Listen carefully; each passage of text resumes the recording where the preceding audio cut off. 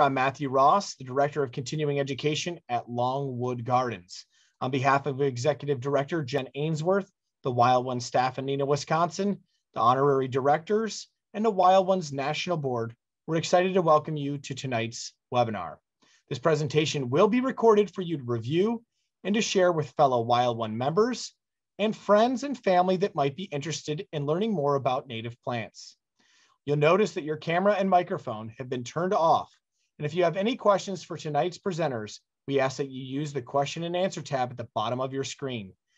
If you are using a mobile device, that might be on the right-hand panel, or you might need to swipe to find that.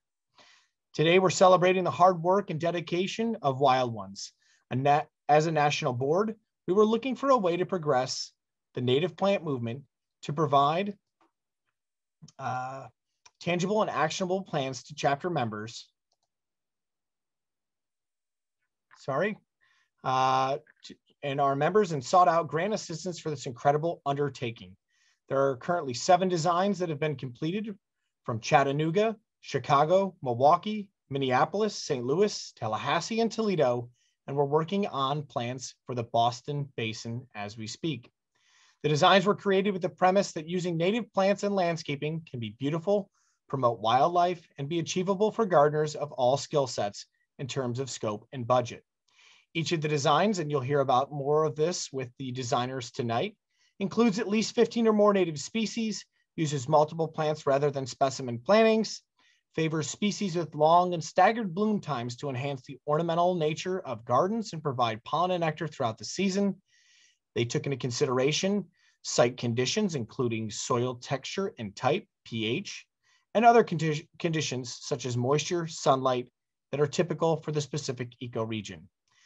Each design includes an incremental approach to developing the plan, adding new areas and native plant species as time and funds permit. Carmen Simonet is a landscape architect with a passion for using native plants. She has over 25 years of experience providing landscape, master planning, and site design services for commercial developments, public parks, and private gardens.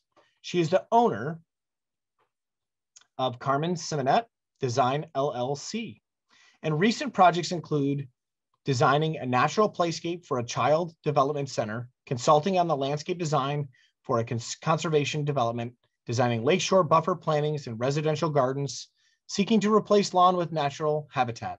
Carmen received her BLA and MS in landscape architecture from the University of Minnesota. We'll then talk about your next designer. So your next designer is Susie Van de Riet. Susie is the founder of St. Louis Native Plants LLC, whose services include consulting, coaching, design, and education. She obtained her bachelor's in women's studies and an AAS in horticulture. She is an ISA certified arborist and an NIA certified interpretive guide. She has had passion for native plants and has been landscaping with them since 2009. You'll notice there's a couple links that were just put into your chat box if you'd like to know more about Susie. She is served as a education subcommittee chair of Grow Native and has participated with the St. Louis Audubon Society's Bring Conservation Home program as a habitat advisor. She's a member of Grow Native and Wild Ones. Thank you very much. And worked as a horticulturist managing 130 acres at Forest Park. Her last yard was platinum certified with the BCH program, and she's obtained the same certification for her current yard. She loves sharing the benefits of native plants with others. At this time, I'm going to invite our speakers to the stage. And if you have any questions during today's presentation,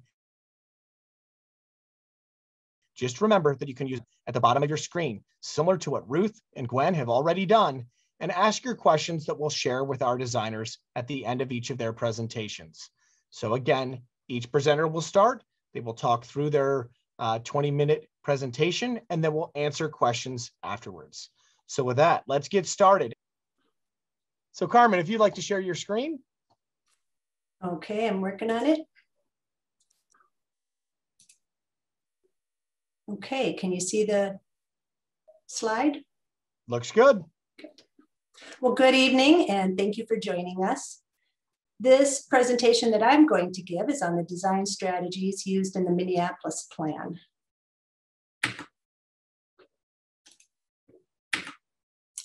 Gardens are dynamic and they are always changing. Aesthetics, habitat, and management work together in this design. The plants have been selected to thrive in the site conditions, to be compatible with each other, and to support wildlife. Natural processes we know are going to shape the garden, and good management will guide this process. Now, this is an overview of the Minneapolis plan. What you're looking at is a collection of individual gardens matching different kinds of site conditions. Each of the garden areas has been thought through, considering the location, potential needs of the garden area, the light, soil, moisture. In some areas, I create a succession of blooms for pollinators. I've also combined plants that will grow well together matching competitive level and needs for succession and to create a particular experience.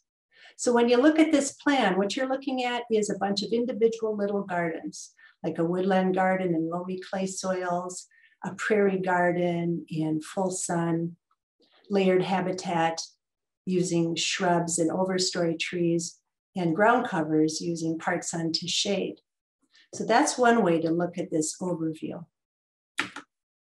A second way is to look at um, ways of how to lay out the space and create a garden experience. And that is what I do all the time when, you know, a place where I start is I'm thinking about how am I going to shape, how am I going to use this space? So these are really good ways of organizing. You know, you're thinking about the paths, you're thinking about the places where people are going to sit. An understory tree adds privacy to a deck a sitting area surrounded by spring, summer, and fall blooming flowers.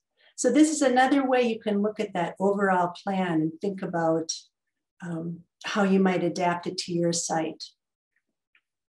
Now, what I've done with the overview is broken it into three different kinds of categories. One being the prairie gardens, and another being woodland, another being the layered uh, bird habitat.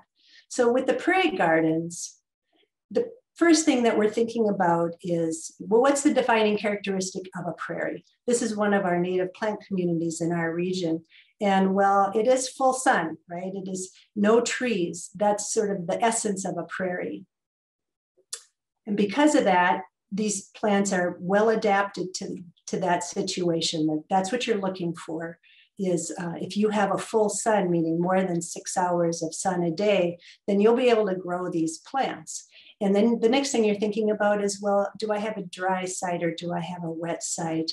And when you look at this um, page that I put together, you can read those little labels and get those ideas. Well, do I have dry? Do I have mesic? Mesic is a is a medium. It's your basic garden loamy soil. Do I have a clay soil? Do I have a sandy soil? Those kind of um, specific conditions are somewhat covered in all these different gardens on this plan. So the strategy here, the big one to remember is that you want to match your plants to the kind of conditions you have. Plants will move around and adapt to their environment. And in my situation, I have a part sun condition in my yard. These plants you're looking at are all prairie plants. Um, and when I planted this particular area, I also had blazing star and rattlesnake master. And those are plants that love full sun. And I was really hopeful, but after a few years, they just disappeared.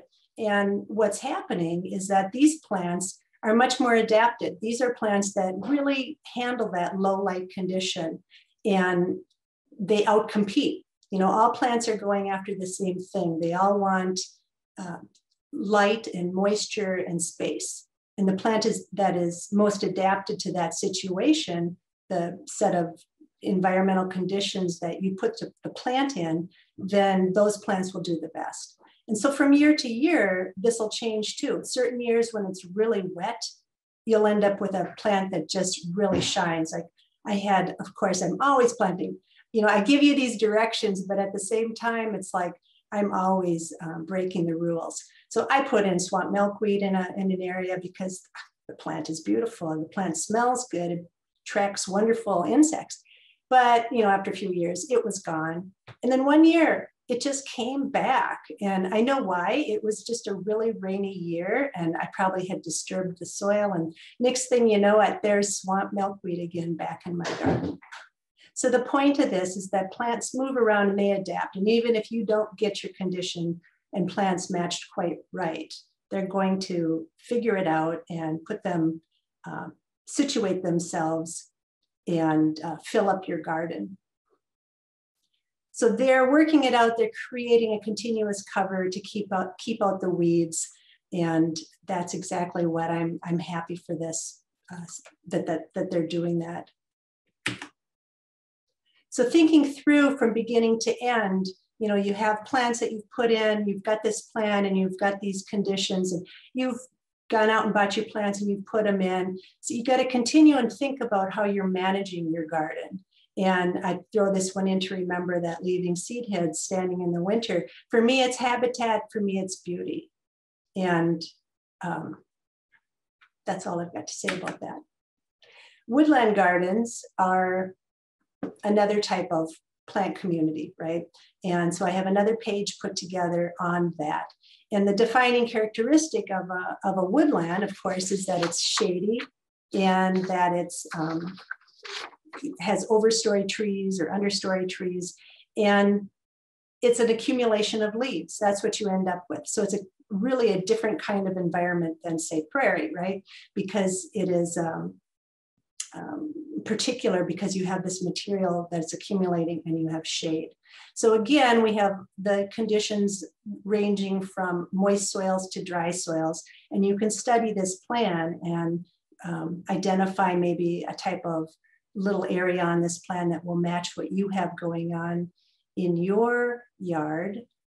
The other characteristic of a woodland is the way the plants will um, go through succession, you know, through a year. So for instance, right here is the bloodroot, and that's, I'm assuming you can see when I move my cursor around. I'm, I'm moving it and hopefully you're seeing it, but it's little flowers that are white. It's a spring ephemeral and they bloom first thing before the trees have leafed out. So that's a defining characteristic of, you know, of that plant and of this community.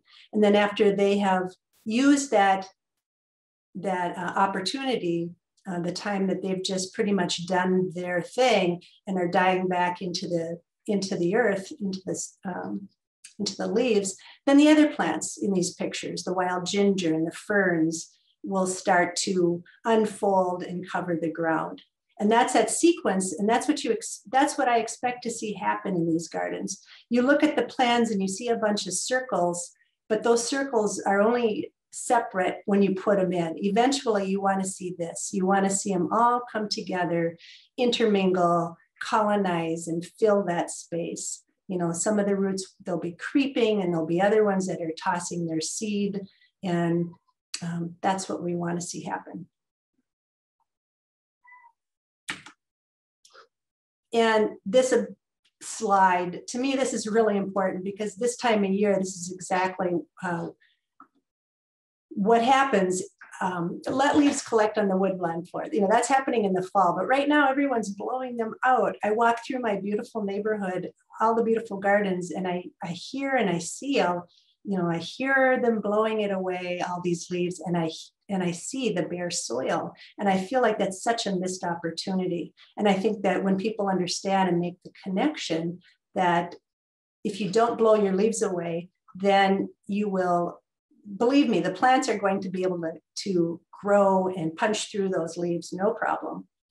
And what you get in, in return is a soil that is uh, richer and more moisture retentive, and you have forage for the birds, you have the insects who are overwintering and living. So it's this whole unit, it's this whole circling back um, that is so important. I can't say much, you know, as much, there's so much to say about this slide that it's just really important. This is design. This is so essential to understand how you manage your garden is as important as what you put into it. And one other note about these leaves, these plants, the wild ginger and the mayapple, spring ephemerals are beginning to disappear here. There's a bloodroot and um, the trout lily. And my one trillium that's been there forever but isn't really reproducing more than that one plant. Those were all planted, but they keep you know expanding and growing. There are other plants in this in this picture. There's Virginia waterleaf, and down here there's a violet, and those just came in on their own. So the leaves are how I make the garden. I throw the leaves down and grass just disappears. And I put the, you know, the next year I start putting some plants in and I just let them keep expanding and filling in that area. And as long as something good is being recruited, like the Virginia waterleaf, I'm happy with that. That's great. So when you leave the bare leaves, you have that kind of situation. You've got to get the plants growing and expanding. Otherwise, you're creating an opportunity for anything to come in there. The third type of, category, of planting page category that I have here is the layered landscape. And that is really emphasizing the understory of trees and shrubs. And on the plan, I have a list of them pagoda dogwood, elderberry, serviceberry are what you see in this page on this page here. And the, you know, it's habitat and it's privacy. And the ground layer, again, I can't say it enough times, it's the complete picture, right? You want to get that ground layer under there too, for all those reasons that I mentioned earlier. It's, it's the habitat. So it's a complete thing that you're trying to build. And above all this under, understory, there's shade trees. So on our existing plan that, that we worked with, there was an existing shade tree. And you know, you can imagine maybe there's some over in the neighbor's yard here too around this plan. So that it would be the, the big overstory. You'd have this understory. It becomes the cover and it becomes a food source for the birds and insects. I have a series of different kinds of shrubs that I put in this plan on purpose. It's not just one type of shrub. Um, the mixture creates a succession of bloom through the season.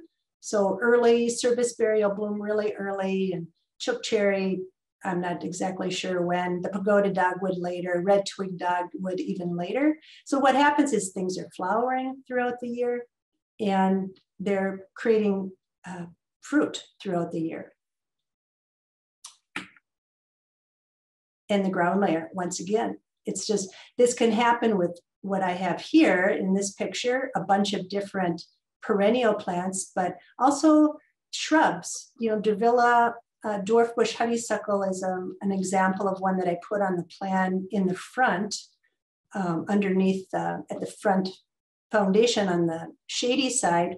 That is a perfect plant to put underneath the understory and just cover that ground. That's what we're after. We're after creating uh, a continuous cover so that other things that we don't necessarily want coming in growing in. And I say that because, yeah, I mean, a little bit of empty mulch, maybe it is beautiful, but it's also just an opportunity for something to seed in there.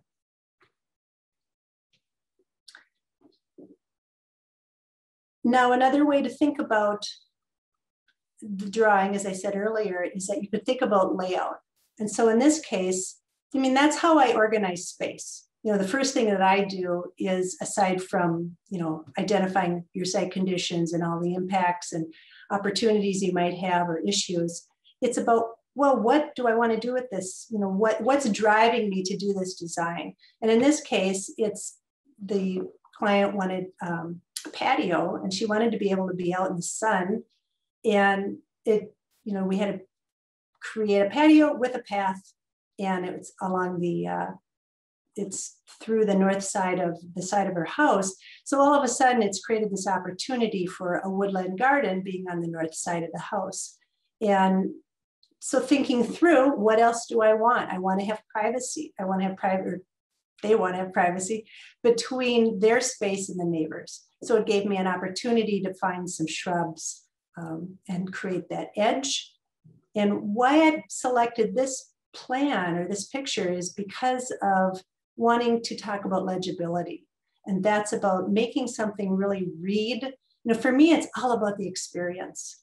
And this is this is really a beautiful experience when you come out. It's very deliberate.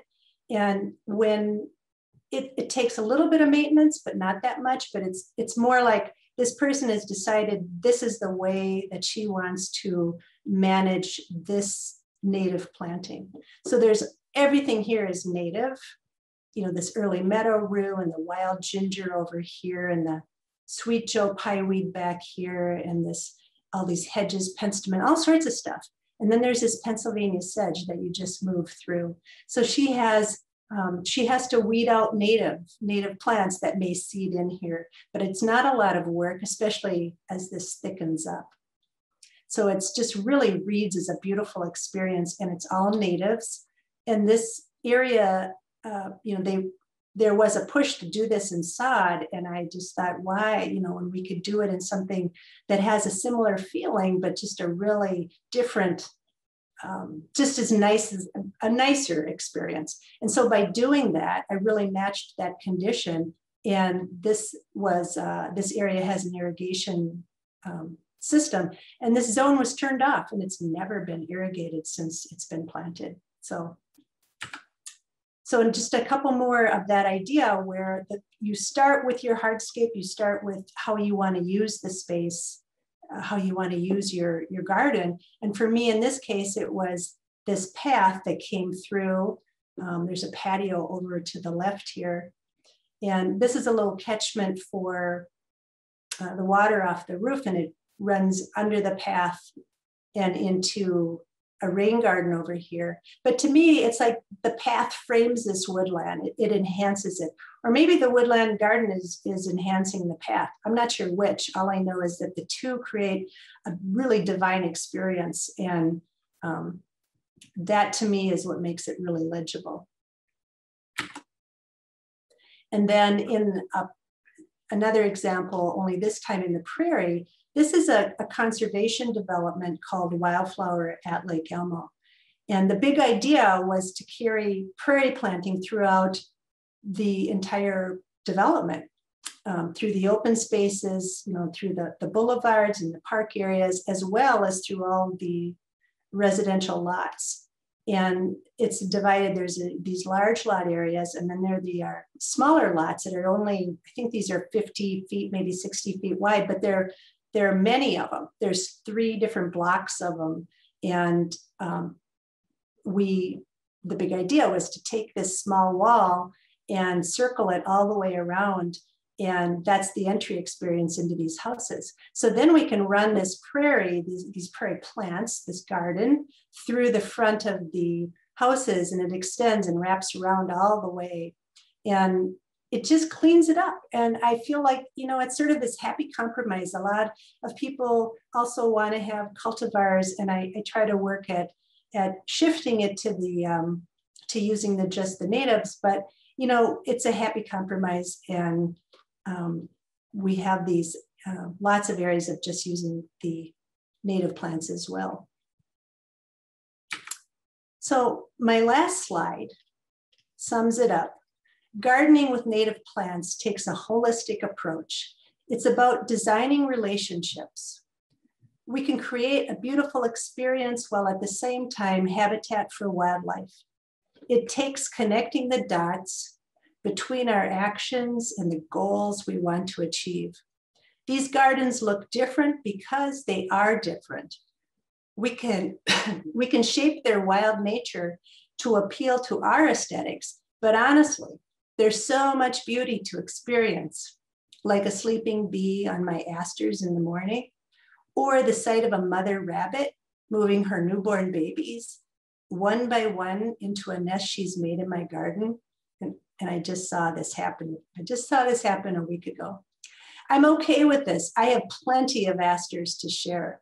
I'm all for less lawn and more wild. With that, I'm going to pass the screen to Susie and she can pick up where I left off. Hey, thank you for that introduction. Can everybody hear me okay? Awesome, okay. So, and thank you, Carmen, for that. I feel like there's definitely, um, we definitely have a fair amount of overlap in our presentations and our designs and kind of how, you know, the whole thought process going into them. I think this, okay, here we go. Um, so uh, yeah, I, I basically, um, uh, just to introduce my design, I look very much at um, gardening as something very similar to or similar to composing and conducting a symphony. Has, and this is very much appropriate to St. Louis, Missouri. Have you ever been to Powell Hall to hear or see the St. Louis Symphony Orchestra or wherever you are coming to us from? Um, have you ever been to your local symphony orchestra? And um, something that to me is very similar, you know, that I notice when I go to the symphony, and I love going to the symphony, is uh, you see all of these different moving parts. You see, um, you know, the violin section, you see the percussion section, you see, um, you know, or not even just violins, but strings, um, you know, woodwinds, a number of different sections uh, and sounds. And, you know, and some of these things, when they're playing solo, they have their own individual sound, but together they create a whole different collective sound. And native gardens can be very much the same, except instead of musical instruments, we have things like contrasting colors, textures, groupings of plants, which may bloom at different times during the growing season. Or maybe sometimes we have plants that bloom at the same time uh, so that they actually complement each other in their color schemes. Um, and these are just, you know, a few examples of kind of some differences between colors and textures at different times of year. You know, some of these bloom spring into summer. Um, you know, we have some textures with the grasses, the uh, little blue stem, uh, this, the uh, scoparium is really one of my favorites uh, just throughout the whole year. It just does something different all the time and it just looks beautiful. Um, you know, to things like this Rudbeckia here that gets going a little bit later, uh, you know, and, and this aster over here a little bit later and, you know, getting towards the fall. And so we can bring those together so that they play off of each other, resulting in a sequence of blooms and contrasted colors and textures through, throughout every season. And so um, I just have a few slides here uh, kind of highlighting the different um, plants, just a handful of them um, as we go through each season that I that I think look really nice together, just to demonstrate that. So, you know, here we have pussy toes, blue wild indigo, robin's plantain. You know, these are all kind of a little bit earlier. Also, the Amsonia, which is um, shining blue star. Uh, these all kind of are getting going. Um, well, especially these three now. Baptisia is not quite there yet. Um, and uh, this grass, so this is purple love grass, which again, you know, similar to little blue stem, has a variety of appearance to it um, throughout different seasons, but has almost more of like a greenish blue sort of appearance a little bit earlier in the year. Um, and then of course we have our, our lovely cone flowers that kind of take us into the summer here and a little bit further into the summer with this purple cone flower, which you can't really see. I was focusing in on that bee there. Um, and then when we get into summer and fall, you know, some of these, like I said, still have, um, you know, just contrasting textures. They change colors a little bit. So this uh, purple love grass in the center here now is going to be shifting to more of a purple sort of color. We have the Rudbeckia, so you got the beautiful yellows um, going on a little bit further into the summer and into the fall. This is partridge pea here that this little two-spotted longhorn bee is hanging on and um, and of course asters and goldenrods uh, definitely get going and take us into the fall and the summer. And then fall and even winter, I feel like sometimes this kind of gets neglected a little bit uh, when we're considering multi seasons of interest throughout the year. And I really think that fall and winter can be some of the loveliest seasons for plant color and textures. When we think about things like bark, you know, and, and um, you know, nine bark being one uh, that has exfoliating bark. Um, you know, it's just kind of, it's just really beautiful, similar to like a river birch, um, just beautiful bark, shagbark hickory, this lovely fall color, you know, and this other hickory over here, which I'm not entirely sure uh, what species it is, but that bark, even that is just, you know, really interesting to look at, I think. And then uh, little blue stem again, we see the different colors and textures going into the fall and winter. I wouldn't plant this or put this in anybody's design, but poison ivy really has some beautiful fall color to look at from a distance around here, um, as does something like Indian physic. And uh, this is just a whole different type of interest here, fall going into the winter. This is frost flower, um, Cunila origanoides, uh, which is our common dittany. is one of uh, just under a handful of plants native to Missouri that produces something called frost flower. And uh, so this is something that's a whole different thing that we can see, um, you know, as something that's interesting to look at and, and really lovely. So something else to consider when um, you know we're considering what goes into a native garden symphony is uh, the goal of attracting and supporting specific wildlife. Now, I'm sure not everybody wants to attract bunnies to their yards, uh, but you know this goes all the way down to the smallest of creatures in my mind. So when I'm talking about wildlife, I'm talking like the broad range, you know, throughout the whole food web. And so, um, you know, when we talk about that, flowering plants are very important to support them but this is actually only one part of a complete habitat. So some of the things, and, and this is touching on some of the some of the items that Carmen touched on too, um, you know, with mulching and things like that. So there's definitely overlap there. And I think uh, some of the important things to highlight as considerations for wildlife is this this aspect of managing our landscapes a little bit differently. So we have, you know, the flowering plants and all that good stuff and looking at interest in something that's aesthetically pleasing to us as humans. Um, but then taking it a step further, what are ways that we can actually manage the space differently than maybe it has been traditional for us um, to encourage and support more wildlife? And so first to get into that, I would like to say what habitat, what a healthy habitat actually is which includes the same things that it includes for us food, space, shelter. Uh, down here at the bottom, I didn't put this at top, but uh, a poison free environment, which is pretty important that we don't live in a toxic environment, uh, but especially for these little beings. And so, um, just some examples of what makes up that habitat specifically. Uh, includes larger contiguous plant clusters for beneficial insects and birds, and this includes things like predatory insects, um, particular plants for birds and bugs. And so, um, you know, when I talk about something like predatory bugs, I'm thinking of things like beetles or wasps or um, flies, mantises, things like that. But, you know, even uh, when we think of beetles, something like firefly beetles, which I know a lot of people have been kind of concerned because they seem to be seeing less of them. Um, so one of the ways that we can actually support things like that is we can include shallow flowering plants um, that don't require these insects to actually have a long proboscis or long uh, straw-like tongue to get deep into the flower. And so things like coreopsis, you know, is a perfect example for that. And then when we have these clusters of plants, you know, that produce seeds like coreopsis, once again, we attract and support things like um, goldfinches, you know, lots of different birds will pick at the seed heads of these things. Um, and so Further down the list, bare ground for insects that nest in the ground. And so 70% of our bee species nest in the ground.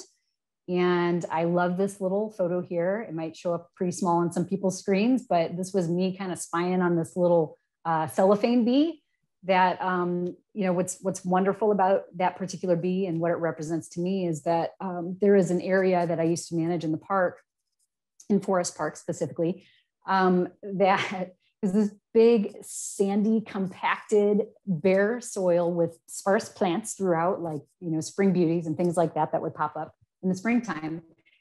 And these little bees would emerge from the soil every year in the spring without fail in that same area. And they nest in these communal kind of areas or, or settings and they stand guard at their nest. So once they actually, you know, the males come out and they mate with females, and then the females, as they're nesting, will actually guard these nests. And they're like little crabs when you sneak up on them. And then suddenly they notice you're there and they retract into the hole. And they're just, they're adorable, I think. And, um, but that's why, you know, it's, it's not necessary to say, well, we can't put plants there, but more necessary to say, we don't need to be putting two to three inches of hardwood mulch um, on the ground because it actually discourages things like this um, from being able to find their appropriate habitat to nest. Bunch grasses, great shelter for um, overwintering insects. And also, you know, I've, I've noticed the firefly beetles actually in our yards seem to like to take shelter during the daytime in here and then crawl up out of it uh, at night when they're about ready to light the sky in our yard. And uh, so that's, but that's just one example. There's so many bugs that, that take shelter in those bunch grasses. It also can be, bunch grasses can be a really great nesting site for bumblebees as well. Um, leaving an area of rotting wood, twigs, brush pile, uh, this can be really useful for the other 30% of our bee species who um, prefer to actually nest in things like this rotting wood here or in stems. It's also a great spot for predatory bugs and for birds to hunt for their food.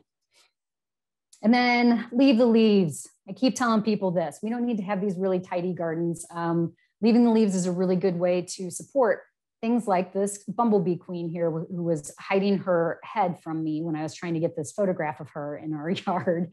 This was about this time last year, maybe a little bit further into the year.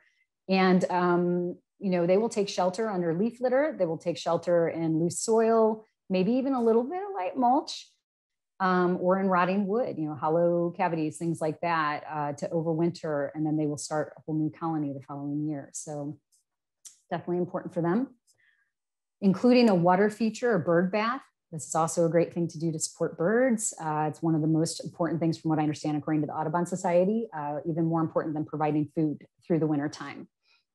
And a poison-free environment, as I mentioned, uh, you know, sometimes I realize that we have to apply things like pesticides, um, but as much as we can possibly avoid this in the exterior of around our house and our property and um, you know, can really think about and, and question what we are applying and how it impacts other things besides our target, because frequently it does do that, that much. Um, it affects other things. Uh, we just, you know, need to definitely take, take that responsibility seriously. So um, from here, so we've talked about kind of all the different kind of fun factors I think that go into a native garden. And then, you know, I think it's also important, and, and Carmen already kind of touched on this, we have to consider the site. We have to do a site analysis and a site plan. Um, you know, we base this on the conditions that are present at, you know, particular sites. So I am actually, I'm not going to focus on all of this, but you certainly, if you were going to apply any of this design to your own yard, you can take these things piecemeal and say, well, I have a shadier, wetter corner in my backyard. And so, or even in my front yard. And so the plants that I have selected for this particular area in my design are going to be suitable for those conditions for, you know, something that gets periodic wetness and then dries out maybe during the summertime and also gets a fair amount of shade. the area that I am actually going to highlight tonight um, is going to be more of um, mimicking a dry sort of woodland area with periodic wetness. Um, so this area over here being on the east side is going to, and, and again, you know, similar to what Carmen was saying, probably considering that there might be a little bit of shade over here too on this side in the neighbor's yard, um, or even by a fence here. So this is going to get a little bit of sun, but you know, largely during the day is going to get shade, and especially in, from the hot sun later in the day, it's going to be getting shaded. So when I selected the plants for this, that, that just knowing that bit of information helps me to figure out what plants I'm going to apply to that space. And I wanted to, uh, so I'm going to take a little bit of a snippet out of this. And, you know, when, when I was first tasked with doing this design, I remember asking Wild Ones, well, how much you know how how much do you want me to design for the yard? You know can i and, and, and in my mind i like to dream big. I don't know if you can see that up at the top here. It seems like my screen's blocking it but um, i like to dream really big when it comes to native plants. And so the more turf that i can replace in my yard and hardscapes and all of that uh, that is what i want to do. So um, but this can certainly be done in incremental planting. Um, this can be done just taking like i said one little snippet of it and applying it and so this is, you know, I, I say that so that when people look at it, hopefully they don't feel terribly overwhelmed because this does not have to be your whole product when you go to apply this to your yard if you decide to. So just really briefly, I'm going to talk through um, this particular section of the garden on the east side, I decided to call this the East Garden, a tiny bit of woodland, because it's pretty much essentially what I'm, what I'm mimicking here. And we talked about the site conditions that are present, so mostly dry.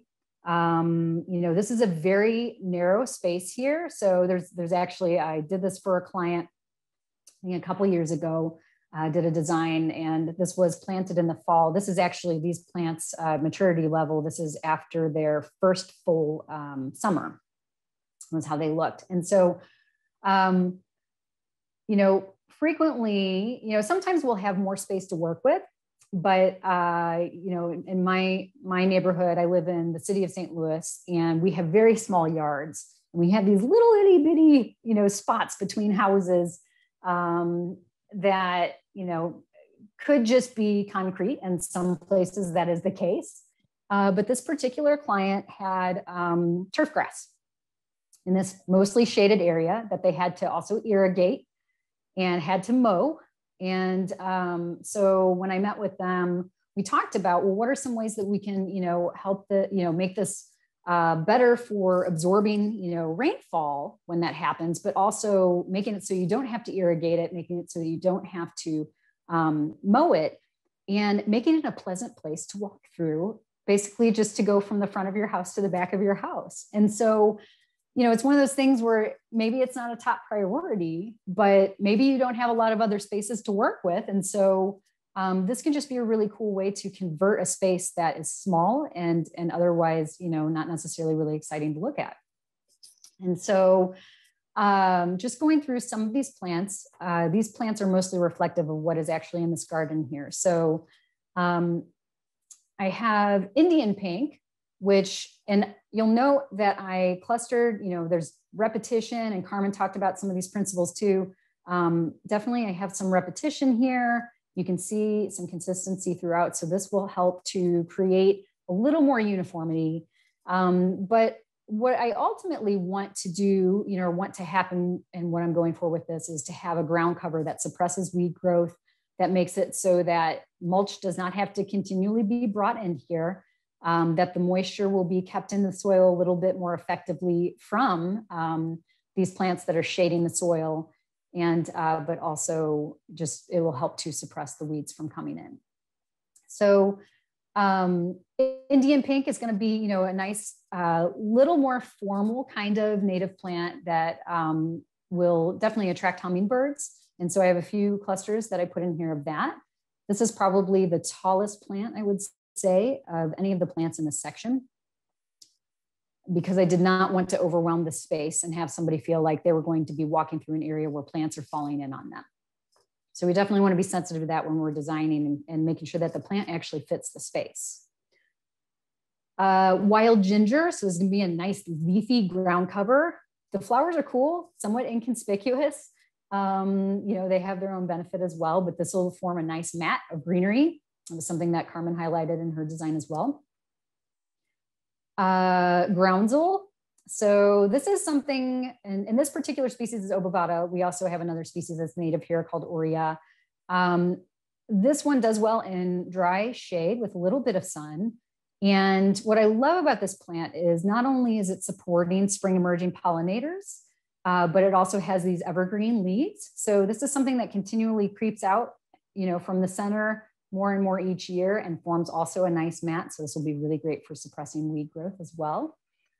And then this actually blooms in tandem with this Jacob's ladder and Jacob's ladder also. So this is going to be something that's good for spring emerging pollinators as well. And this will set down a little bit of seed and fill in its space maybe a little more slowly than something like this groundsel. But these beautiful bell-shaped, you know, flowers in contrast with these kind of, you know, rays almost, uh, and then this, I mean, Indian pink is, is a flower all in its own class, just beautiful. And as far as bloom periods go, we've got this going, you know, somewhat, you know, June into July. Uh, with this, we've got earlier, you know, kind of spring. And Dittany is going to be more getting into the fall a little bit, late summer, early fall. And then, as I had discussed before, frost flower is something that it produces. And so this is going to be a whole nother level of interest. And I love putting this plant next to paths because of the fact that it produces frost flowers. So if anybody like myself, uh, as I tend to do during the fall and winter time, uh, wants to get up early and go out and see if frost flower is present on these things, then they have a pathway right next to it to be able to do that. So that is important.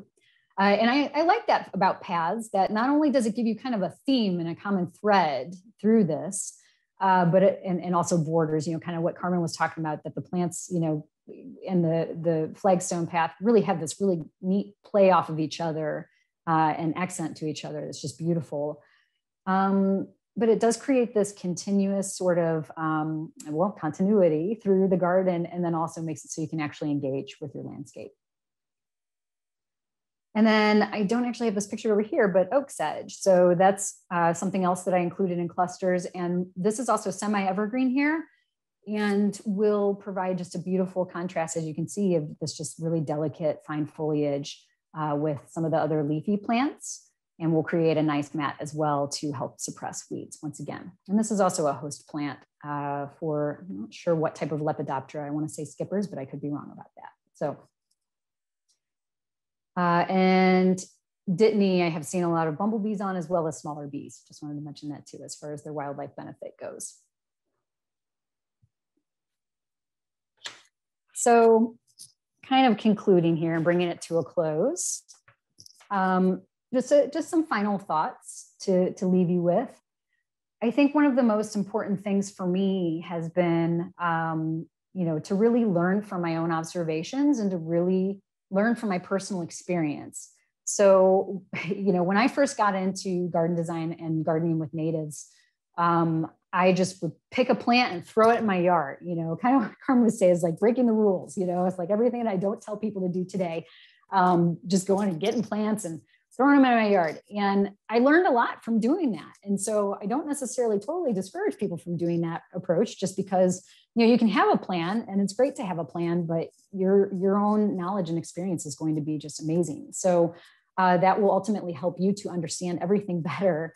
And uh, and I love that quote, you know, in tandem with all of these little bugs on plants, you know, the spice spicebush swallow cat, swallowtail caterpillar, um, how much they mimic a snake this dragonfly who has camouflaged itself somehow perfectly or just found the perfect flower to mimic the colors on its body. It's just amazing. And this camouflage looper uh, who disguises itself with different little increments of plants, like this rudbeckia, I think that it's on, I'm pretty sure it's a rudbeckia. Um, and, uh, you know, just if we sit still long enough, we can really learn a lot from these things about our landscapes and about our surroundings. I also like to remind people to have fun. Bunnies can be a pain for a lot of people. Uh, but as Carmen was talking about, I think she was saying she had some bunnies that just started nesting in her yard. So did I.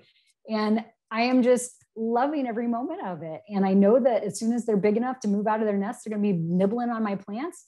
That's okay. I'll use some of those plants as a trap crop for them. I have other plants that are just, you know, kind of uh, just getting going and not quite mature yet. So I have a fence around them. And it's just something that I just realized it's just kind of, you know, bunnies are voracious predators like this velociraptor here. So uh, slightly different way. But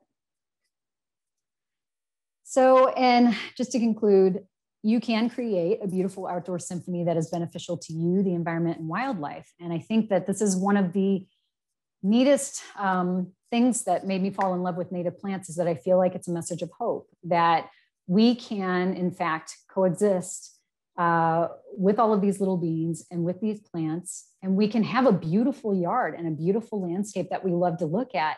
But what takes it up a notch even more is just knowing that because we've planted this, we're attracting all of these little beings into our yards and we're able to support them and, and make a difference with our little corner of the earth.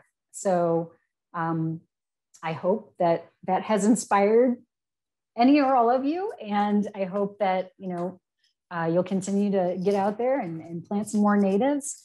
And um, with that, I just want to say thank you, everybody, for your attention and listening. And I'm assuming that you haven't fallen asleep, even though I can't see you. So thank you. I don't think anybody's fallen asleep yet because the number of questions we've gotten has been fantastic. So, uh, Carmen, if you want to turn your uh, microphone on, I think people would love to hear from both of you. And I have a couple questions that I'd like to start things off with that seem to be themes throughout tonight's presentation. So the first one was, I know that when we first talked, you mentioned the use of AutoCAD and Dynascape for your designs respectively, But for a lot of homeowners like Gwen, and Sally, and others, they wanted to know what program would you recommend for someone that's looking at getting starting and designing either their yard or another's? Well, one thing I can say is I'm old enough that when I started, I used pen and pencil, paper. that is one way to do it. And it works. And I know people who continue to do that. And um, even people who are designing for clients, they're still using um, paper and pencil. I said pen and pencil, paper and pencil. So that is one way. You know, I use AutoCAD Light. Um, it's yeah, there is a cost to it. And I, I don't know of free programs because I don't I don't need one, so I haven't looked for one. How about you, Susie? I would echo a lot of that. I, I started out with sketching um, before I got into it professionally. I certainly was sketching everything. And the reason that I was drawn to Dynascape is it seemed like a solid plan, but I got introduced to it through horticulture school.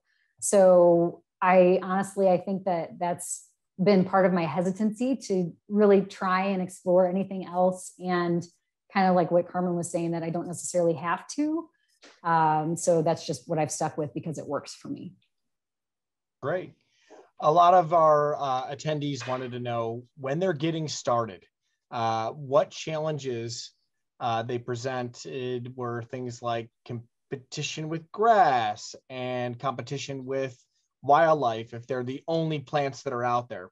So if you were getting started with the gardens from the ground up and you were dealing with competition from herbivory, you had some native or some invasive species that you might be removing and removing grass, how would you tackle getting started for the very first time?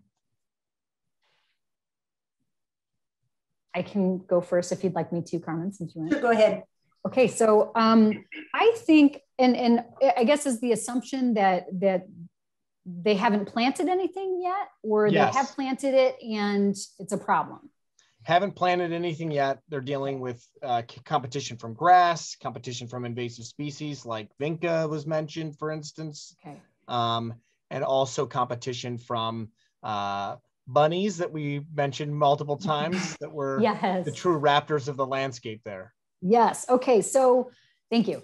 Um, get rid of the existing vegetation where you're going to be planting this stuff as best as you can from the beginning. So that's where, you know, I think sometimes there's a problem where, you know, if we have a tendency to uh, try to move through it too quickly because we're in a hurry, we want to get, we want to execute our plan, we want to, we want to put the plants there and we want to do it now. Um, the problem with that is that then we end up battling those those species that we need to really get rid of first. So that would probably be my biggest tip: is out of the gate, take care of the existing vegetation first before you even put any of your plants in that soil, uh, because ultimately that will give it that will give your plants a chance to breathe, and you won't have to be fighting it um, all along. And with uh, now it's a whole different story i think if you already have planted your plants and you have things that are encroaching on the space. And i think one of the best things that i could say about that is just stay on top of it and don't let it become a huge problem. If it does become a huge problem you might have to look at maybe digging out your plants you know your native plants and then maybe starting fresh uh, if it becomes too big a problem. And i have seen that happen before with like bermuda grass um, you know, where that creeps in and then it just goes crazy and it weaves itself through another like native grass or something like that. And sometimes it just seems like a good idea to cut your losses and just say, you know what, I'm just going to kind of start this fresh. Putting edging on your beds can work wonders for like actually digging a two inch edge down around your beds to separate things like grass or weed turf, whatever you want to call it, uh, from getting into your garden beds as well. Um, there's a lot of different suggestions on the wildlife part of it. I like to use uh, chicken wire because I think that that's maybe one of the best successes that I've had with keeping um, animals out of um, my garden beds. Uh, I've tried a lot of other things like sprays, you know, all like natural kind of stuff. And that stuff just doesn't seem to work quite as well. And I'm curious if maybe Carmen might have different experience with that and maybe some good ideas with that. Sure, I'll give my two cents about um, removal of lawn. I think is one of the easiest things if it's just lawn, um, not having other weeds in it. And I have tried every way there is. I've, I've, rented the sod kicker and rolled it up, and that's really easy to do. I've dumped leaves, um, all the leaves in our uh, from all our trees in our yard, we've never gotten rid of any of them. We just push them over. I know there's issues with leaves, and I'm, a big thing in our I've been hearing is about these jumping worms, but I don't think I have them in my yard. I don't even know what they are really, but there's going to be a talk on it, wild ones, or maybe there already has been one for the Twin Cities chapter. Uh, Julia Vanetta is really, um, she's out on top of it and looking into that. But the point then is, um, so the leaves, and I think that, yeah, you get a lot of uh, weed seeds with those leaves sometimes, you know, like elm and ash and whatever. Um, and that can feed into whatever, you know, the new bed you're establishing. But I haven't had an issue really, I don't think of it as a concern. So being able to just suppress it and then plant into it. But like Susie was saying, if you've got a bad weed in there already, and like in the inner city where I am, Virginia or not, creeping bellflower is a really nasty one that a lot of people have to deal with here. It's just an old um, perennial that that was popular at one time, and now it's just uh, it's just a mess. It's just hard to deal with. And getting rid of something as invasive as that before you plant would be a lot easier. Um, a different tact that I've taken because I can't rip out everything is finding ways to plant right on top and over these awful plants that I don't like. And so I'm experimenting because my yard's a big experiment. Um, Bermuda grass, I'm not sure that you know, we don't have anything as, I don't think as tough as that. Probably one of the toughest ones in my own yard is that creeping bellflower. And I find that I've been experimenting with plants that I can put right on top or clean it away as well as I can and then immediately plant in. And it, will my new plant outcompete it or not? That's what I'm aiming for is trying to outcompete. So then in terms of fencing, no, I think the wire fencing is always I mean, it's just so easy and straightforward. And, and the spray thing I've never done. Um, I think people tell me they try them and then they, you just have to keep on it. So um, the, the fencing is the way to go is, you know, if you need to keep things out um, when you initially start. Did I miss anything? Yeah, you got it. Okay. I have two, two, let's do two last questions. Uh, the first one I'll direct towards Susie first, because in the style of the symphony, we know that at some point in time, the oboe might be lo- louder than the piccolo, and there might be this mix and match of sounds that somehow blend together to make a beautiful uh, composition. And one of the questions was, how do you personally decide which plants do you put next to each other? Do you follow a traditional style uh, of matching heights, or do you do more of a matrix design similar to the work that's being done by Thomas Rainer and others, um, where they're working kind of on a matrix? That depends. um, you know, some of it's really a variety, I guess. And sometimes it's just seeing plants working together well. That's why I said experience is so great. Sometimes it's just seeing plant combinations being like, I really like that. I'm going to use that more. And so um, you know, like one one thing that I have on my design, which I didn't talk about tonight, is um, small skullcap and coneflower, echinacea specifically. And one of my favorite things to do is do like a matrix planting of echinacea paradoxa, which is yellow coneflower, and um, echinacea simulata, which is glade coneflower. Mix the two together because they bloom approximately the same time, and so you get that comparable height but different colors. And then around the base of it, because it's a lower growing plant, is to put something like small skullcap and um, which blooms these beautiful kind of tubular purplish lavender kind of blooms uh, that appeal to small bees and flies. And that like hugs, you know, the foliage of that plant clusters and hugs the base of these taller um, echinacea species. And they all bloom at the same time and it's beautiful together. So I think it kind of depends um, on the whatever the ideal is for the client and the space and how organized it needs to look too. But um, so yes, I guess, uh, you know, to answer your question that I, I kind of approach it both ways, I guess, really depends. And then Carmen, on that same note, uh, if you wanted to keep the same sound across the uh, the audience and you found a song that you really liked, like your Pennsylvania sedge that you sh- shared, and you're trying to keep that essentially as one block of its own, what plants do you avoid or how do you maintain it so that it is just a solid block and potential lawn replacement? Well, it depends. I think the yeah the ah the the thing the, the qualities of a Pennsylvania sedge are that it's like a sod grass. It it, it is rhizomatic and it spreads, and that really helps make something easier. You know, it's colonizing the site and really block you know locking out other plant other plants from having the ability to seed in or, or encroach on the space. So that would be the primary way is you're selecting a plant that's just got a really strong root system.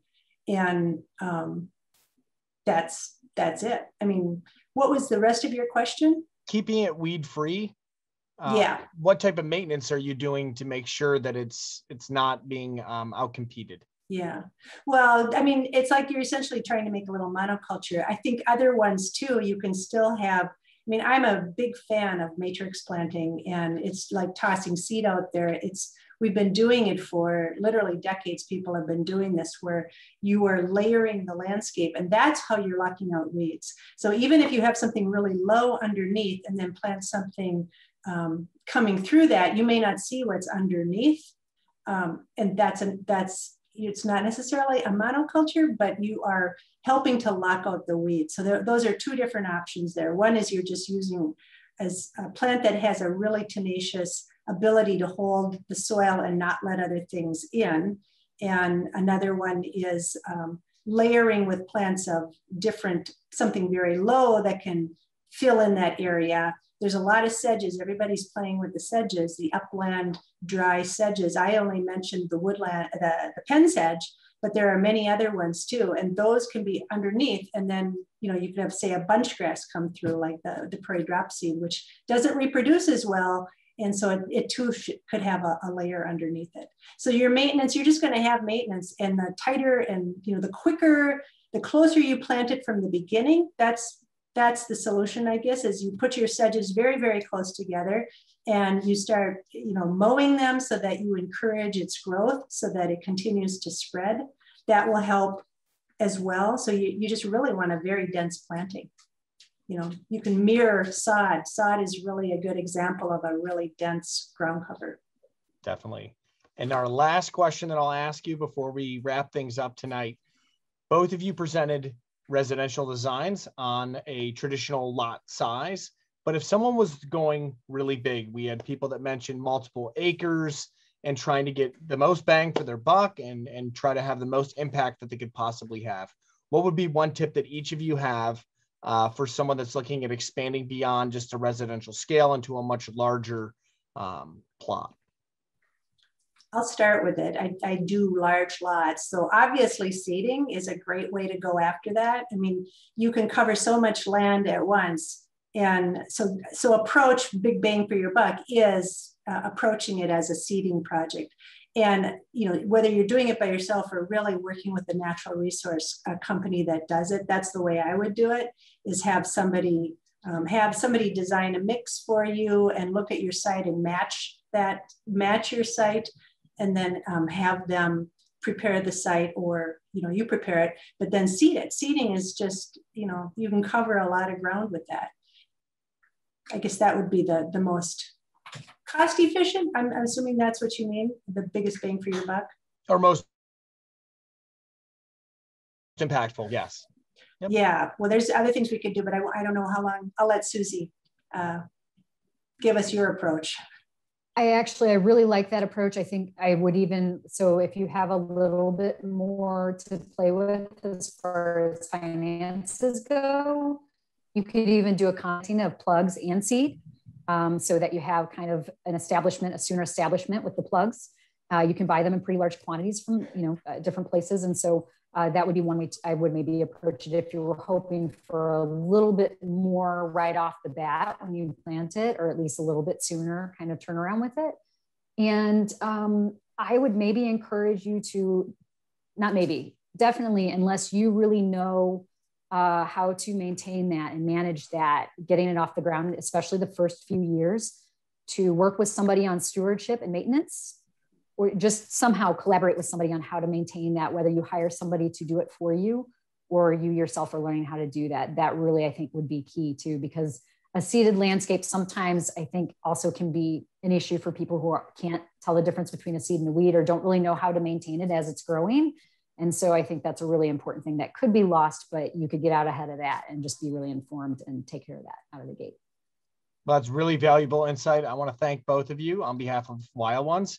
And I know we didn't get to everybody's questions. So I do want to let you all know that there is a forum for you to connect with your peers through your chapters. So if you're not a member of a chapter right now, each of the Wild Ones chapters put on programs throughout the year that can help you with some of your questions and have great experts there amongst the membership, including one upcoming event that if you are interested, Carmen is going to be presenting a design webinar with the Wild Ones of Big River, Big Woods, Thursday, May 27th from 645 to 830.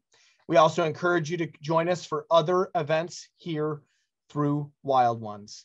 And as we um, also wanted to mention, the very active Wild Ones Facebook group where you can connect with your colleagues and friends that can help you out with some of your questions as well. We would like to thank the following individuals for their significant contributions in conceiving the idea for the program and or seeing the project through its completion. Marty Agler, Jen Ainsworth, Denise Gehring, Susan Hall, Janice Hand, Katie Hebner, Elaine Krasinski, David Krzyniak, myself, Matthew Ross, Pam Todd, and Sally Wenzel. We searched the nation to find top designers that have been designing native landscapes and have been delighted with the response of the designs created by both Carmen and Susie and the other talented designers. I know by tonight's response, you were all wowed by their uh, innovative designs, and we encourage you to take a look at them online. You can view the native garden designs at nativegardendesigns.wildones.org. We also encourage you to join and become a member of the Wild Ones organization at members.wildones.org slash join.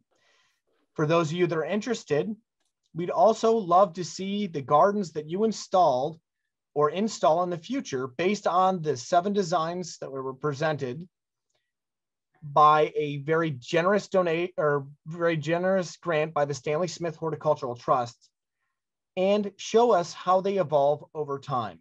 By becoming a member of Wild Ones, you get access to current electronic issues of the quarterly Wild Ones Journal.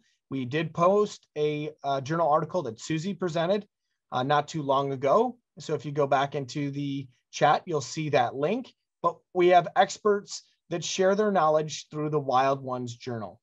We have invitations to workshops, garden tours, seed exchanges, plant sales, and stewardship projects. There's discounts for partner educational webinars, such as the NDAL and Wild Ones chapter programs. Participation in National Photo Contest. It was fun judging some of the, working with the judges for the National Photo Contest this year and seeing the beauty of native plants through the lens. You get access to the Wild Ones Member Center for learning resources, participation in Wild for Monarchs and native garden recognition programs, involvement in citizen science and networking with conservation partners, and receipt of Wild Ones national e-newsletters. There's so many other ways that Wild Ones is helping change the world by encouraging the planting of native plants.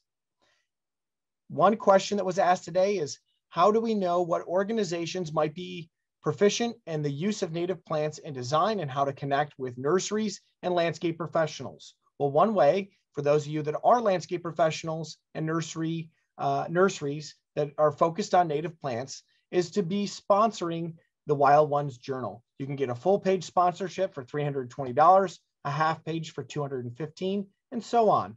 The Wild Ones Journal is an award-winning publication, and we encourage you to check it out.